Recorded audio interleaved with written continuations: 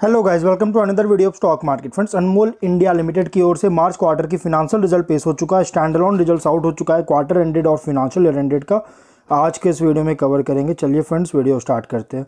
Numbers की बात करें करोड़ में दिए गए पहले क्वार्टर एंडेड को हम लोग कवर करेंगे। इनकम की बात की जाए तो इस बार का इनकम 407.6 करोड़ का। पिछले क्वार्टर में 406.87 करोड़ का और मार्च 23 क्वार्टर में 372.4 करोड़ का इनकम है। क्वार्टर ऑन क्वार्टर में इंक्रीज है माइनर सा लेकिन ईयर ऑन ईयर में अच्छी ग्रोथ हुआ। है एक्सपेंसेस 402 करोड़ का। पिछले क्वार्टर में 400.8 करोड़ का और मार्च 23 क्वार्टर में 366.4 करोड़ का एक्सपेंस हुआ था।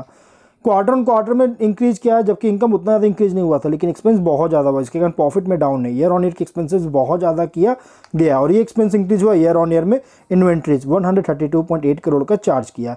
पिछले क्वार्टर पिछले साल से देख सकते बहुत ज़्यादा चार्ज हुआ, जिसके कारण प्रॉफिट में इम्पैक्ट पड़ा ऑपरेटिंग प्रॉफिट 5.5 करोड़ का, पिछले क्वार्टर में 5.9 करोड़ का, मार्च 23 क्वार्टर में 6 करोड़ का ऑपरेटिंग प्रॉफिट है।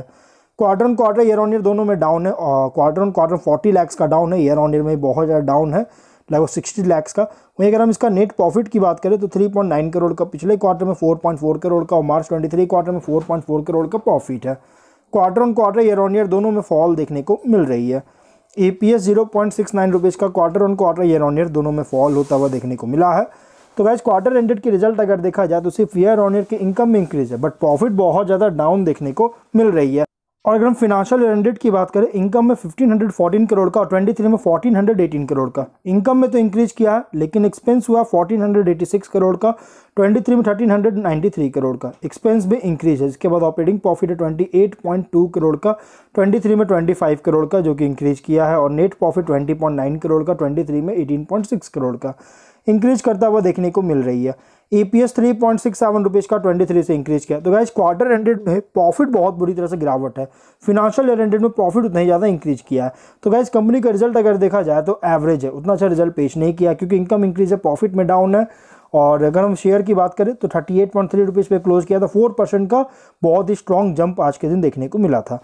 वन वीक में वन परसेंट का लॉस है वन मंथ में नाइनटीन परसेंट की लॉस है और थ्री मंथ में थर्टी वन परसेंट का लॉसेस देखने को मिला।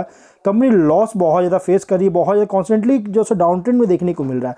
लेकिन आज के दिन एक बहुत अच्छी जो सो बाउंस बैक किया। लेकिन अब क्या करना चाहिए? तो देखिए कल के दिन इसका शेयर अगर निगेटिव में ओपन होता है तो वेट कर सकते हैं। अगर कल के दिन इसका शेयर पॉजिटिव में होता है तो आप इसमें एंट्री कर सकते हैं लॉस में तो आप एवरेज कर सकते हैं। तो हम लोग जो है वीडियो कहीं प्रेंट करते हैं। अगर कोई डाउट है कमेंट बॉक्स में पूछे, मिलते हैं। नेक्स्ट वीडियो में टेलन बाबा